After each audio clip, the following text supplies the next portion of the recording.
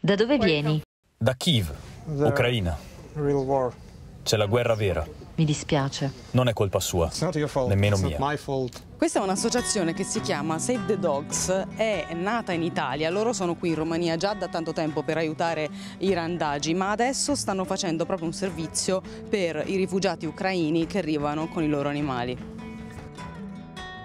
Alcuni nelle gabbiette, altri al guinzaglio, altri ancora in braccio, impauriti.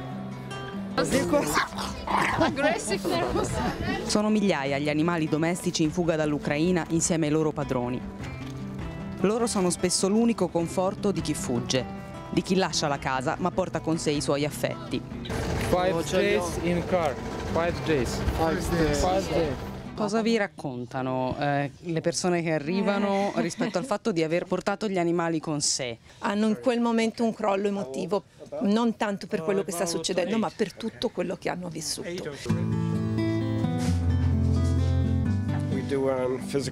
Facciamo un controllo per vedere se è in salute.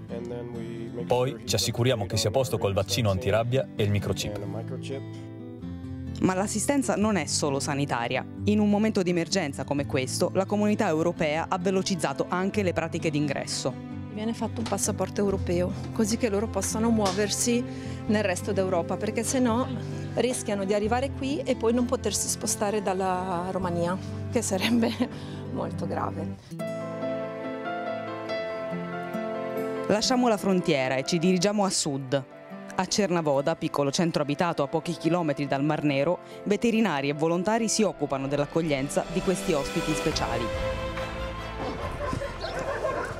Allora, qui stiamo entrando eh, nell'area dove ci sono alcuni cani che arrivano eh, da un canile di Odessa. La signora che gestisce il canile, che si chiama Olga, in un momento molto critico ci aveva chiesto se potevamo aiutarla a ospitare almeno alcuni dei cani in relazione anche al nostro spazio. Siamo riusciti a prenderne una trentina.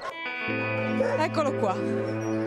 L'ultimo arrivato si chiama Zen. Spaventatissimo all'inizio, si è meritato questo nome per come ha reagito al bagno di benvenuto.